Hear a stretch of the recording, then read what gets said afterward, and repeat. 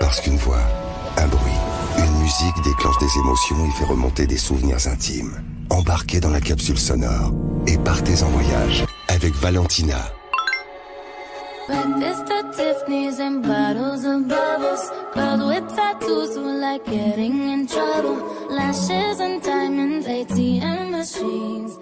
Ah bah ça c'est euh, une chanson de mon artiste préféré, mon idole Ariana Grande. J'étais sûre qu'il allait avoir une chanson comme ça dedans parce que euh, en plus cette chanson je l'adore, je l'écoute tout le temps. Enfin j'écoute tout le temps toutes les chansons d'Ariana Grande. Je les connais toutes par cœur. Et, euh, et cette chanson c'est un peu c'est un peu la première fois où je l'ai un peu redécouvert dans le sens où je savais pas qu'elle aussi elle pouvait un petit peu rapper tout ça et, et j'ai adoré cette chanson mais en même temps ça a changé de de ses autres clips où elle faisait vraiment princesse et tout. Donc là elle a changé un peu de style et tout et j'adorais autant. On enregistrait notre euh, deuxième album avec les kids et j'avais dit à Yann qui, euh, qui est l'ingénieur du son, j'avais dit j'adore sa nouvelle chanson Set Rings et il s'était, il s'était moqué de moi et de mon accent pendant toute la journée après.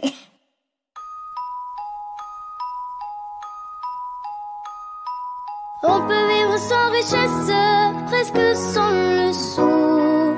Des seigneurs et des princesses, y en a plus beaucoup mais sans tendresse. Bah ça, évidemment, je connais. C'est euh, notre premier single avec euh, les Kids.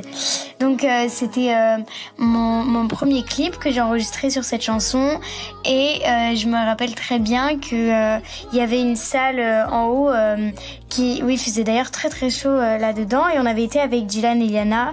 Non, c'était avec Iliana et Nathan et on était on était restés coincés parce que la porte elle se fermait que d'un côté et que j'avais fait l'erreur de la fermer.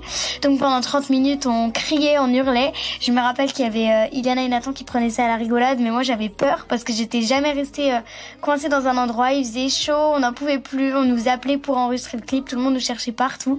Et heureusement après on est tombé sur deux personnes qui nous ont ouvert la porte et euh, qui nous ont dit mais qu'est-ce que vous faites là Et après on est redescendu et on a continué. C'est vraiment le début d'une aventure et puis j'ai appris aussi un petit peu comment comment faire des clips, c'est-à-dire que je savais pas trop quel geste il fallait faire et puis je m'étais éclatée. En plus il y avait des animaux sur le clip. J'avais eu un lapin, on avait tous, euh, Gloria une tortue, tout ça. C'était vraiment trop génial. Elle court, elle court, la maladie d'amour dans le cœur des enfants de 7 à 77 ans. Quoi? Alors, je sais même pas où vous avez cette... Audio, là. On le termine quand? Ça c'est mon papy qui chante. Euh, c'est notre chanson à tous les repas de famille. On l'a fait tous les deux parce que euh, j'adore cette chanson et lui aussi. Et puis mon papy il aime bien chanter. Du coup on a un duo à terminer. Dès qu'on se revoit, il faut qu'on chante. et, euh, et donc du coup oui c'est vrai que on la chante souvent ensemble. Je m'attendais à tout sauf à ça. C'est oui c'est la maladie d'amour de Michel Sardou. Dans la jungle terrible, oh non, jungle, le lion est mort Ma voix. ce soir. Et les hommes Ah, c'est le casting. Ça, c'est le casting. Ah, d'accord, c'est le casting des kids. Euh, où euh, bah en fait je savais même pas dans quoi je me lançais. J'étais arrivée je chantais et puis euh, après je me suis dit je vais voir euh, je vais voir dans quoi je vais entrer dans quoi je vais me retrouver. C'est ma maman qui m'a inscrite et j'étais vraiment très heureuse mais je savais pas trop euh, parce que c'était pas c'était pas indiqué que c'était pour les Kids United nouvelle génération. Mais euh, j'avais rencontré Nathan pour la première fois ce deuxième casting. On s'était euh, échauffé la voix ensemble et j'avais chanté l'oiseau et l'enfant et le lion mort ah oui d'accord et le lion mort ce soir et et je me rappelle que d'ailleurs j'avais vu Suzanne pour la première fois. Et elle m'avait dit j'adore ta fourrure Suzanne c'est la chef de projet. Elle m'avait dit tu l'as acheté où Sur ce casting, j'étais euh, j'étais super stressée parce que euh, je chantais euh, du coup c'était dans le studio de la Grande Armée et j'avais une vitre du coup derrière non, c'était devant moi. Et pendant que je chantais, il y avait plein de il y avait plein de monde autour parce que du coup, c'était toute une production. Et, et c'était hyper impressionnant de chanter devant tous ces gens-là. Et puis du coup, j'avais j'arrête pas de dire du coup hein et j'avais reconnu Jérémy Chaperon, euh, qui est le directeur artistique, et euh, donc je m'étais doutée euh, que c'était pour les Kids United Nouvelle Génération, et j'étais super contente. après cette journée, il y a eu un autre casting où là, on a rencontré euh, Iliana, Dylan et Gloria. Alors moi, je connaissais déjà Iliana et Dylan des The Voice Kids, donc j'étais trop contente de les retrouver. Et, euh, et j'avais rencontré Gloria et j'étais vraiment trop trop fan parce que j'écoutais toujours les Kids United. Donc j'étais hyper impressionnée de la rencontrer, je n'osais pas lui parler et tout ça. Et, euh, et après, j'avais été retenue et, euh, et on était parti enregistrer euh, notre premier single, La Tendresse. Mountains. You raise me up to walk on stormy. J'adore cette chanson, c'est la chanson de mariage de mes parents. En plus, euh, je l'ai, euh, je l'étudie en musique en ce moment et du coup ça m'a rappelé plein de souvenirs. Enfin même si je me rappelle d'aucun moment du mariage de mes parents, mais il y a quand même des photos. J'avais quoi? J'avais un an et euh, cette chanson je la trouve trop belle. En plus j'adore le chanteur Josh Groban, il a une voix incroyable. Je suis trop fan de lui. Et, euh, et donc j'ai trop hâte de la chanter, euh, de passer mon évaluation en musique. J'espère que j'aurai 20. Quel bail Méchant, méchant La cité, la cité Alors ça, c'est euh, c'est Niska, c'est une chanson de Niska. C'était euh, un rappeur que j'écoutais beaucoup avec Nathan euh, pendant la période des kids. Ça devait être vers 2019 et euh, ouais, c'est vrai qu'en interview, euh, c'était oui toujours en 2019. J'arrêtais pas de dire que j'écoutais toujours du rap et ça pouvait surprendre parce que quand j'arrive, je fais 1m20 et euh, et je dis que j'écoute euh, Niska, Nino, tout ça. Et donc euh, ils étaient toujours euh, surpris mais mais j'aimais bien, je dansais dessus. Et je me rappelle que quand on était en studio pour enregistrer le deuxième album, on n'arrêtait pas à la fin des journées d'enregistrement, on allait voir Jérémy et Yann et ils nous mettaient plein d'autotunes. Et on enregistrait des chansons de rap pour s'amuser, pour rigoler. Et, et j'écoutais, on écoutait toujours ça ensemble. Et puis euh, on, s'entraînait à tour de rôle, on mettait des voix trop bizarres, des voix aiguës puis après des voix super basses. Ils s'amusaient un peu euh, à, à modifier nos voix, c'était super drôle.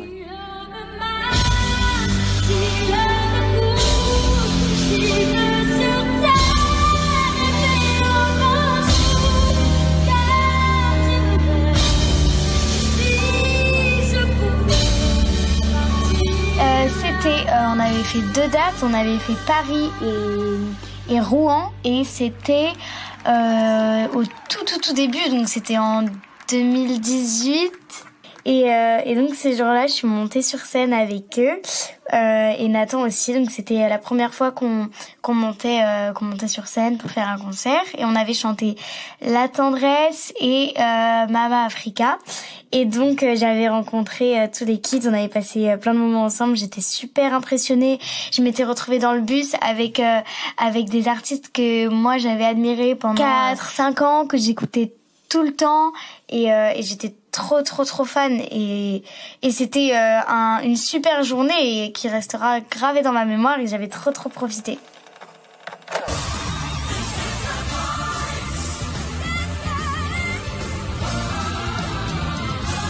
Alors c'est le générique de The Voice et euh, donc ça c'est une émission que euh, je regarde, je regardais toujours avec ma maman, mon frère, mon papa. C'était vraiment une émission qu'on regardait en famille. Je me rappelle que je disais toujours à ma maman, euh, moi j'ai envie de me retrouver là et euh, je chanterais euh, Tal, euh, le sens de la vie. Et ma maman m'avait dit oui, oui. Et après, j'avais fait une vidéo où j'avais justement chanté une chanson de Tal, enfin de Jean-Jacques Goldman, mais reprise par Tal, pas toi. Et de là, on avait reçu un appel de la production de The Voice Kids. Et donc, j'avais passé pas mal de casting. Et j'avais euh, chanté euh, Trate il mare, une chanson euh, de Laura Pausini, pour ma maman, parce que euh, et aussi pour moi, parce que j'adore cette chanteuse. Et depuis que j'ai, depuis que je suis née, depuis mes un an, dès que j'ai commencé à parler, j'ai commencé à chanter, mais en italien. Et c'était vraiment une de mes chanteuses préférées. Et donc j'ai chanté, j'ai chanté sur The Voice Kids. J'ai pu rencontrer Matt Pokora, Jennifer, Patrick Fiori. C'était vraiment, euh, c'était vraiment une superbe expérience. Et c'est grâce à ça que tout a commencé après. Coucou Baleine, c'était trop bien les vacances avec toi. J'ai trop hâte qu'on se revoie pour faire un petit thé de Noël euh, pour se raconter euh, les votins. Euh, bisous mon petit papy. Ça c'est ma mère. c'est ma meilleure amie. Et je suis partie en vacances avec elle il y a quelques jours. Et elle a fait ça dans mon dos. Non mais alors celle-là, sans me dire en plus. C'est Zoé, je la connais depuis euh, depuis dix ans. euh, parce que euh, j'étais avec, je suis avec elle, euh, on est meilleures amies depuis la petite section. Et, euh, et donc là, elle me dit qu'on va prendre le thé, parce que toutes les deux on adore le thé, se raconter les potins, euh, tout ce qui s'est passé pendant nos vacances et euh, et elle m'appelle Patty parce que euh, on a regardé une série euh, ensemble euh, insatiable et ça nous a fait beaucoup rire et de là on et la personnage principale s'appelle Patty et donc on s'appelle comme ça depuis.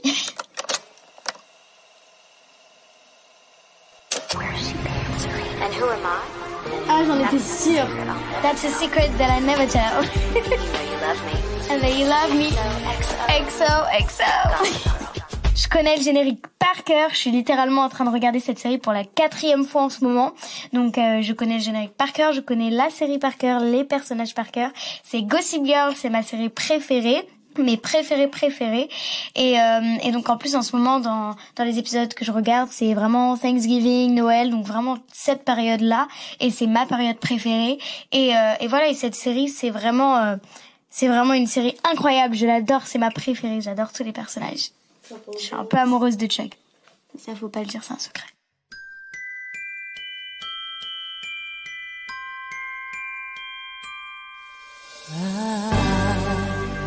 Don't want a lot for Christmas. Ça, c'est ma chanson préférée de Noël avec euh, Santa Tell. J'adore Noël, mais quand je dis j'adore, c'est vraiment j'adore plus que plus que tout. C'est ma période préférée de l'année. S'il pouvait neiger toute l'année, moi, ce serait vraiment mon rêve. Je serais aux anges.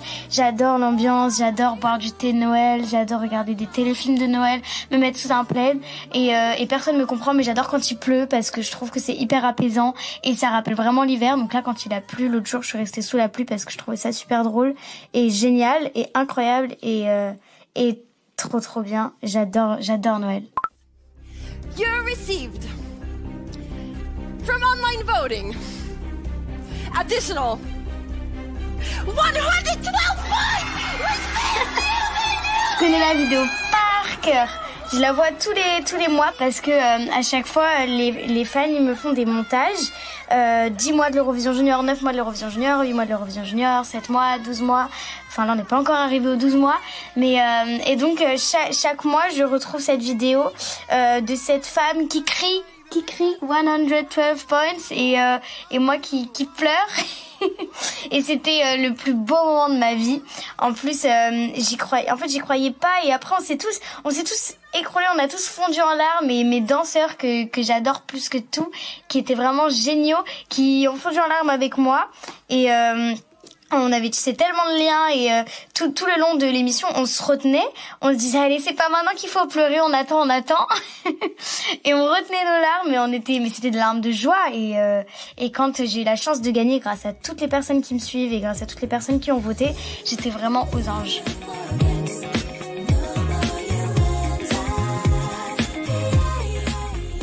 Alors ça, c'est euh, Tu m'oublieras de La Rousseau, qui est une chanteuse que j'adore. Et je l'ai rencontrée euh, aux 20 ans d'M6 Musique. Et euh, elle avait beaucoup discuté avec moi parce que euh, elle a commencé sa carrière très jeune aussi, il me semble. Et donc, euh, elle m'avait donné plein de conseils. Elle avait été adorable et je l'adore. J'adore sa chanson aussi. Merci d'avoir écouté cet épisode. J'ai sorti mon premier album solo Plus loin qu'un rêve le 10 septembre et une édition de Noël de cet album est sortie début décembre et vous me retrouverez aussi sur un album de Noël qui s'appelle Noël et nous.